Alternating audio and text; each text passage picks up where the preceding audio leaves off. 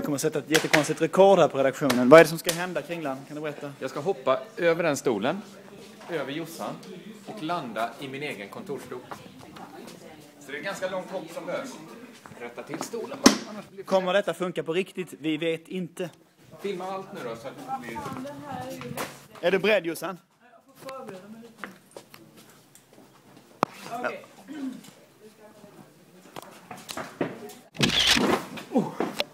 Fick du med allt? Jag tror det. Du det här till.